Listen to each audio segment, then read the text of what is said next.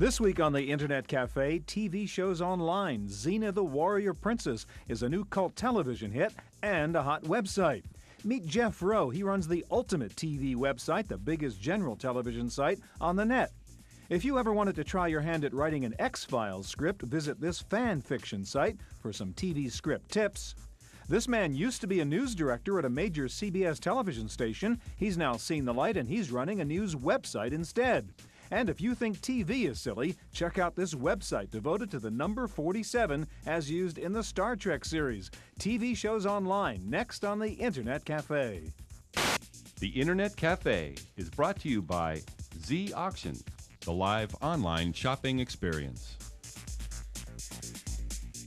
And by Audio Highway, makers of the Listen Up Player, which provides digital, portable, customized audio downloaded from the internet and played anytime, anywhere on headphones or over a car radio. Additional funding from PC Connection and Mac Connection, the catalog and online superstore with PC and Mac products, toll free technical support, and overnight delivery. And by Windows Magazine, delivering desktop, enterprise, and internet computing news, reviews, features, and how to's for a Windows world, because the world runs on Windows. And by Learn2.com, the ability utility, So we're talking about TV on the web, and who are you talking to? I got my web TV right here. No, no, not, No, not the, the web on TV, TV on the web. Right. I'm going to talk to uh, the Ultimate uh, TV site. Yeah. Uh, they've created this huge site all about uh, reviews of TV shows, listings of TV shows. You know, basically a, a TV guide. This is real mainstream, serious Real television stuff on the mainstream. web. You can read all the latest gossip on your on compared your to some other thing you're doing. today. Well, strange references. Have you ever? You remember uh, there was a reference to number nine in the, in the Beatles Right, songs. right. Well, now there's number 47 in Star Trek. Uh, the last six years. this is the cult within the cult. That's right. There's these strange references. So you've got very mainstream and you've got very strange. right, Jane, what are you doing tonight? Yes. Xena, warrior princess. Warrior princess. Wow. Yes, finally. The warrior. Are you within. into that? Is she a Yeah, cult I think heroine she's, of yours? She's kind of cool. She's a, uh, in my life, she's about five foot tall. Looks a little bit, no, I'm just kidding. Is she really that short? No, no, she's 5'10 or more. Wow. Yeah. But this is like a big cult thing now, That too, right? is- it's incredible. I can't believe how fast this thing is coming on. So great websites Okay. to, to look at, and Xena? then also the X Files fan fiction. Everything you uh, never thought you'd see on TV. Probably, Where did- probably the most popular TV show site on the web. Isn't Yeah. it? Oh, I- these X-Files, stories, Yeah, these people, were- I mean, it's replaced Star Trek, I guess. Right. They- where do people find time to do all this stuff? I, I I don't don't know. get it. I know. I'm wondering, is the TV time cutting into the internet time, or the internet time cutting into the TV time? I think it's all time? taking cutting into life. you know? Right. Anyway, I'm talking to a really interesting guy who runs the website for the CBS TV station here in San Francisco, and he's got a really interesting story to tell. How people are really using this website for the kind of stuff they used to get from TV news, traffic, weather, sports, all that kind of stuff. It's really cool. TV on the web coming up at the Internet Cafe. So now, Kim, you are one of the co-founders of the International Association of Xena Studies, which is uh, a fan group dedicated to Xena Warrior Princess, the uh, much talked about TV show. Now, you've got a website which is called Whoosh. Yes. And maybe you can tell us a little bit about all of the things that we could find at the Whoosh website. Well, uh, Whoosh is a, a multifaceted uh, website. It's got um, a monthly magazine, which is actually what Whoosh is, which is the journal of the International Association of Xena Studies. Uh, But it also includes an episode guide, um, a the Xena frequently asked questions area, which anybody who's on the internet knows that the frequently asked questions are compilations done by interested people to answer the most frequently asked questions so they don't have to go on and say so, what would well, be a frequently asked Xena question? like um, why who is Gabrielle you know or something Okay. like that or you know something really basic if you're involved in the uh, Now, in your association, how many members do you have? uh, at this point we have about 530 500 members, and they're all contributing uh, yes, articles that's to the part of the website. requirement of the membership is that they have to contribute at least one article to the journal, which is the monthly magazine on the website. And Now, now, what is it that about the Xena show that prompted you to get involved in this activity? what is it that's uh, so unique about this show that made you want to do all this work? Um, at this point, it just struck me as a very unique program. Um, it interests me kind of from a popular cultural point of view because it's about a strong woman It's um, a woman who's a dramatic character, even though it's uh, also a comedy, com- comedy drama, I guess they call it. And also, it takes its time to develop the character. It has she has a friend who her sidekick is Gabrielle, Gabrielle, good old. Gabrielle, and they travel together in ancient Greece having adventures. And it's basically the hero archetype story that you traditionally see in uh, mythology, in you know. But- Lethal but weapon we've type got movies. is we've got a We got women. Right, we got women. two women doing the same thing, and they're just kind of paling around. And Xena's going through the whole, you know, hero redemption. You know, she had a dark past, and now she's got to redeem herself, and she's got all these demons, and then she's got her little sidekick who's Now, trying to keep her happy. What is it about? Um, what are the kind of people? Who are the kind of people that go to your website? What, Uh, that I know about? of. We don't have any cookies or anything stealing secret information about the people who visit there. Uh, basically, from just the fans and people who've written to me and told me about it, and I've also been able to go to conventions and fests, Xena fests, and uh, For all those meet with people. out there. You betcha. They just love going to their festivals, and we've it's incredibly diverse. I've never really encountered a fan group this diverse It's before. It's pretty We've got, broad, Yeah, isn't it we've it? got males, females, we've got um, people 15, 16 years old who are contributing to the journal, and then we've got people who are like in their 50s and 60s. We've got professional people, non-professional people, educated people, people who you know have high It's school. pretty broad. It's What's the most extremely broad. interesting spot for, for folks at the website? What are they most attracted to? Um, for the, the actual the people that go to it, the most popular site is the episode guide, Okay. where we go through and for each episode we give information. We have a synopsis, we have commentary, we have a bibliography which shows you the journal articles because we've been doing this journal for over a year. We've got about 150, 170 different articles just on Wow, that's pretty comprehensive. yeah, that's a lot of Xena. And, uh, but that's the most popular by far. The next popular site is the frequently asked questions area. And then the next site is this uh, news gossip rumor. all the like- things that you wanted to know, but yeah, afraid right. to Well, it's we started kind of uh, as a lark, and it just got so popular where we just had a gossip column where it deals. Um, it also deals with news, like Right. merchant, you know, straight news. Well, the one also- thing the one thing about your site is Mm-hmm. it's very engaging. There's lots of stuff out there and uh, very exciting. Thanks very much, Kim. Live long and prosper.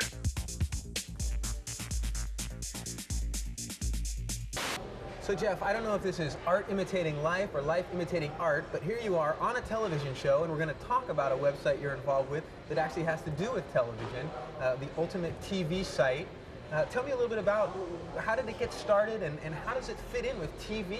Well, Ultimate TV got started uh, in late 1994. A Los Angeles-based uh, TV engineer cameraman uh, named David Cronshaw really launched Ultimate TV. So someone who was a little bit technical, kind of yeah, he knew was his way actually around the computer and he, things. he- he actually worked for the defense program, and so he had a background in computers and had worked in TV, and really saw the convergence of the internet and TV. and had to be just a big TV fan because I, I looked at this site and I mean this is a site for I want to say TV junkies. I If you are a fan of TV, this is a site for you. Yeah, he, his whole thing was uh, to create this place for TV fans to go and kind of sound off about things that they liked or didn't like about TV, Right. and uh, that's really where it started. Okay, now I, I was up there just a little while ago and I saw some actually pretty interesting stories. I like celebrities. I'm kind of I like to read People magazine and things. I'll admit it. And there is some stories up there that that you can't really find other places. You know, there was something about the Keenen Ivory Wayans show, and now he's competing with this Vibe show and a little insider stuff. Where do, where do you get that kind of insider content? We have our own uh, news team that basically, Oh, uh, headed by a woman, uh, Nadine Nadine Mendoza, who worked for the Los Angeles Times, Okay. covered TV. Wow. And uh, we have a staff of three full-time people and probably another half dozen uh, freelancers that we use. Just for the writing. just for the writing of the TV news. So we have our own original content. Mm-hmm. And our whole goal is to be the first stop for TV fans online. If you want TV news, Mm-hmm. TV information about the shows, the stars, uh, if you want to sound off about, again, things that you like or don't like about TV, It's all uh, there. It's okay, all there. so well, sound off, for instance. You know, sort of expound on that a little bit. How can how can I? I mean, TV is a sort of a one-way medium. So how can I Yeah. use this to? I mean, the, kind of what, probably one of the big overused terms right now is community, but uh, Mm-hmm. that is really what we're about, creating this place again where if you're a fan of TV, either we have the information on our service, uh, or we can we'll lead you to other places that actually have it, official websites, fan websites, and specifically with the sound off. One of the things that we do, for example, is we have our Ultimate TV polls, where we poll about what you liked or didn't like. Uh, we have posting boards and. Uh, uh, actually, we were quite surprised the uh, princess, the death of Princess Diana, which was really, you know, kind of a collective Huge, experience. Yeah, yeah huge for TV. Outpouring and yeah. Yeah, and, and we were actually shocked that people just really came in droves, Right. uh, sounding off about the coverage and just Really? again, Princess Di. It was just like one of the most recent examples Right. of, of, of people sounding off about TV. Yeah. So this is basically taking a, a new me, a, a, a two-way medium that was once a one-way medium and, and bringing it together. What are some of the listings and things that you can find up on there that a, a TV fan could get that they couldn't maybe get either in TV Guide or couldn't get on TV itself? Well, actually, many things. I mean, first of all, we have um, uh, it's, there, there's a term in TV called enhancing the TV experience, meaning providing information uh, online about TV shows that you normally can't find in other places. And one of the things that we do is we have uh, you, things that other people do have, but we uh, chat with stars, the TV stars. Uh, we have uh, probably one of the, the, the, the most popular areas of Ultimate TV is a thing called the Ultimate TV Show List, which is like the mother of all uh, destinations for uh, people who want to find out about shows. I, I looked at that site. What was there? 2,000 well, we, shows? Well, we have there? over 2,000 shows, and again, it's a hybrid of both content that we have and also, again, links out to fan sites, uh, Friends, ER, X Files, uh, uh, Star Trek, uh, to F Troop and Bewitched. You Uh, yeah. on there. Ex- Well, great, Jeff. You know, the one thing I looked on there, I didn't see the Internet Cafe. So it will gonna- be there uh, Okay, great. when, when uh, you check next time. All right, thanks a lot. Thank you.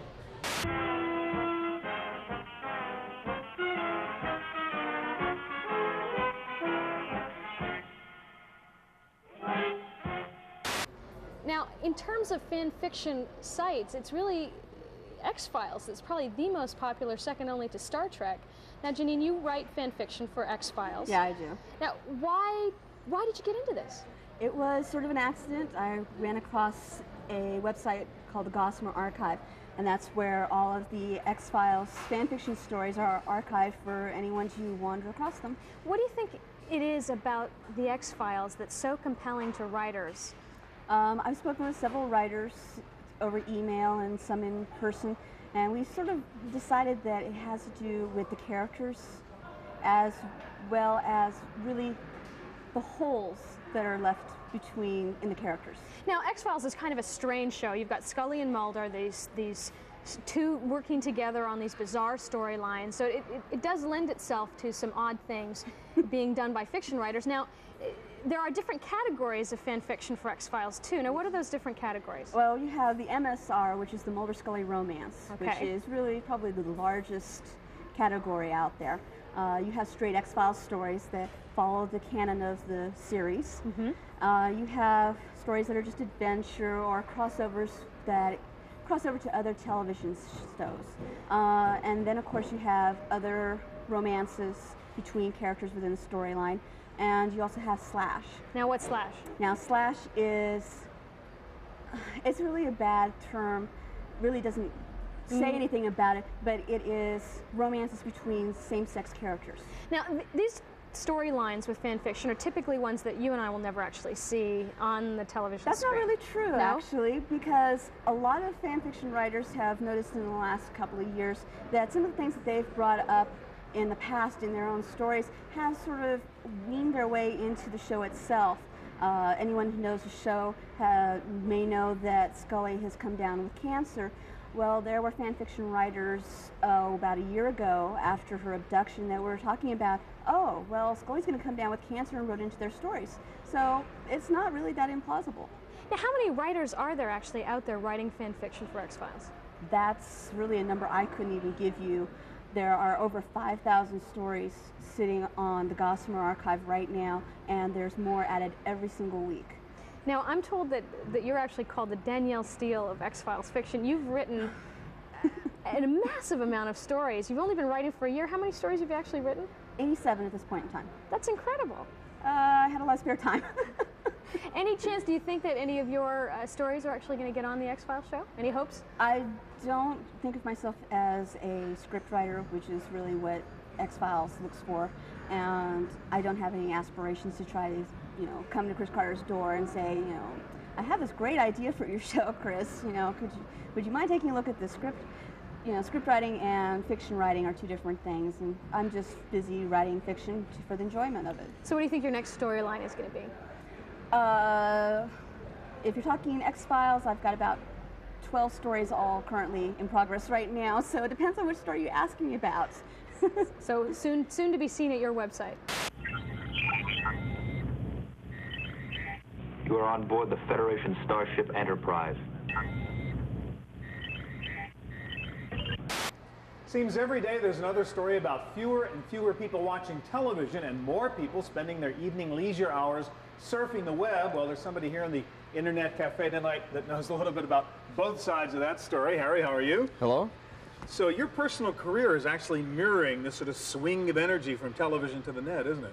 Yes, I started out in television, did 25 years of TV news, uh, three years running a TV station. Now I'm full-time internet.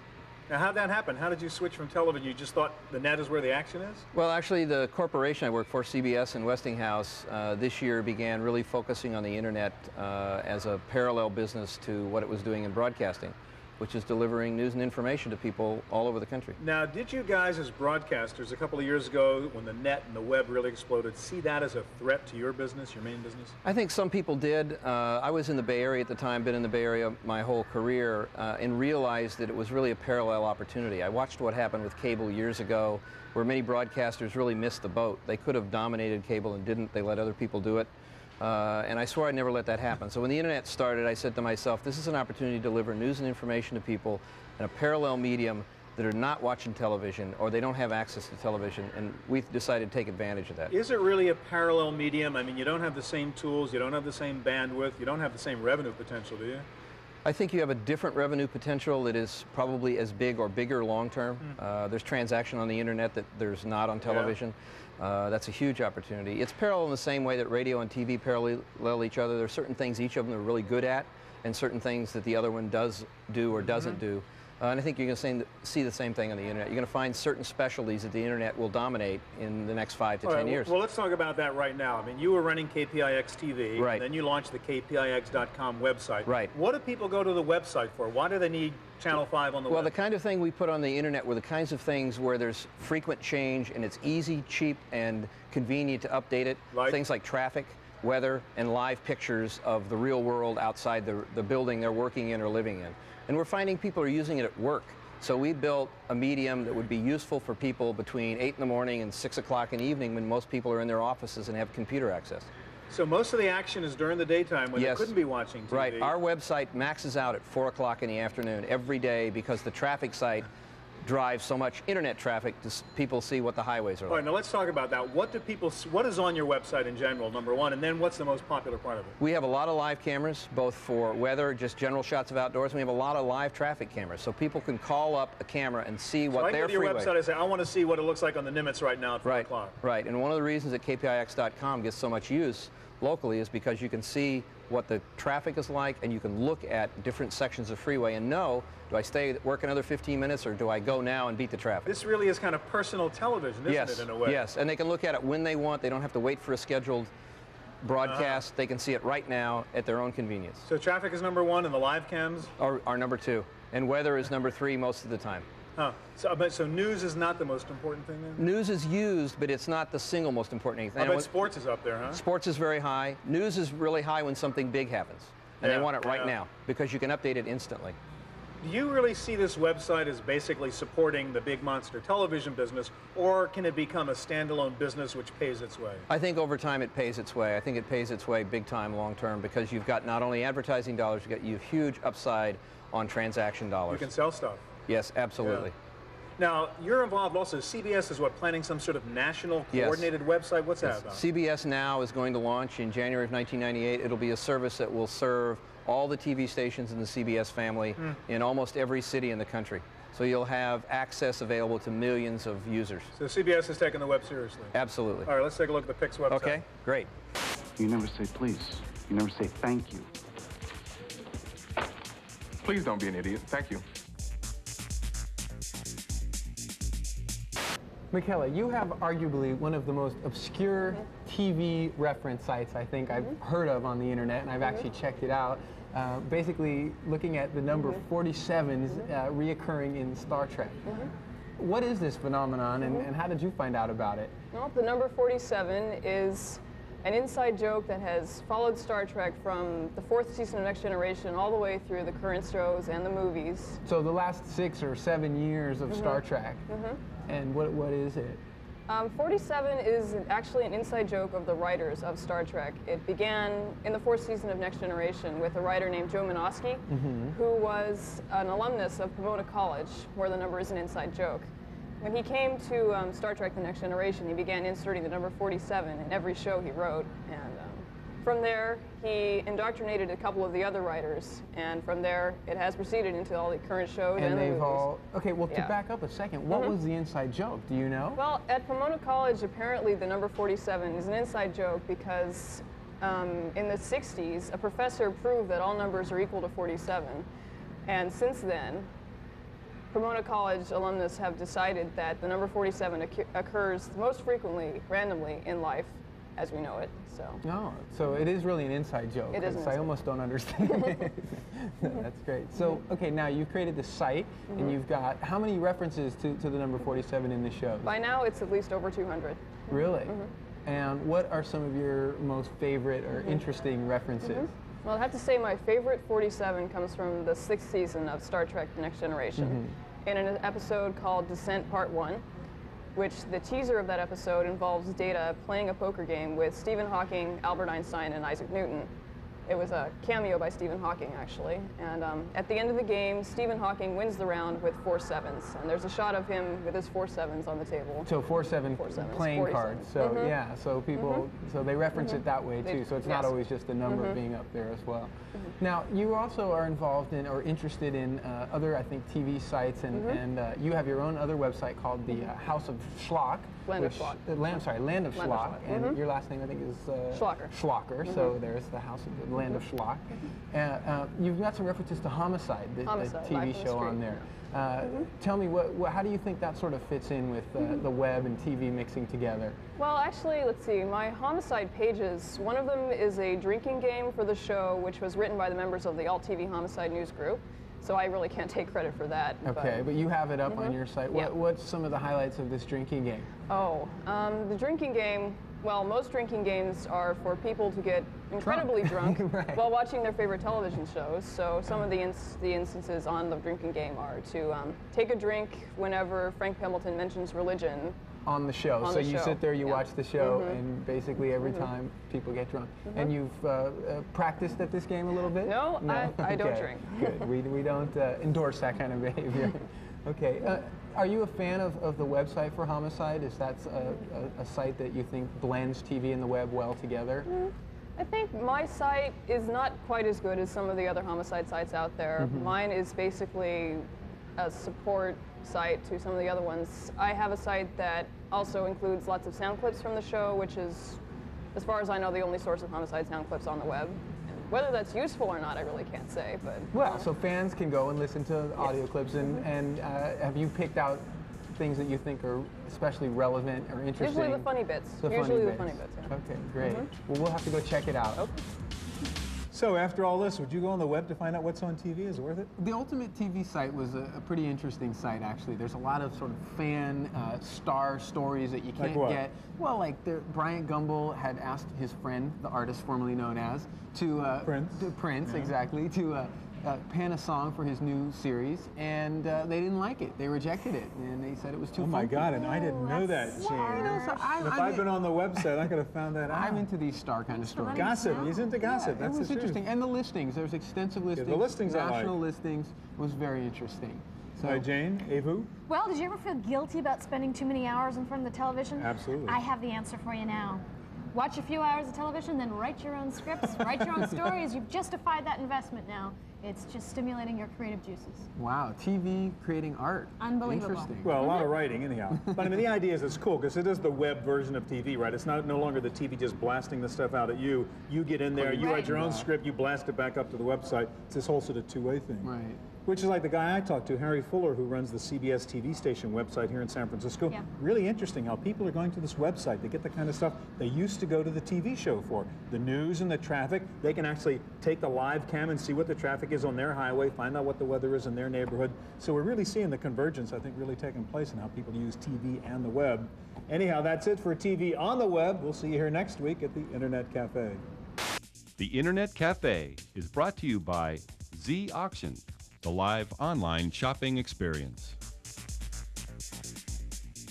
and by Audio Highway, makers of the Listen Up Player, which provides digital, portable, customized audio downloaded from the internet and played anytime, anywhere on headphones or over a car radio. Additional funding from PC Connection and Mac Connection, the catalog and online superstore with PC and Mac products, toll free technical support, and overnight delivery. And by Windows Magazine, delivering desktop, enterprise, and internet computing news, reviews, features, and how to's for a Windows world, because the world runs on Windows. And by Learn2.com, the ability utility. To purchase a videotape copy of today's program, call toll free 1 888 310 7850. Please specify show number and topic.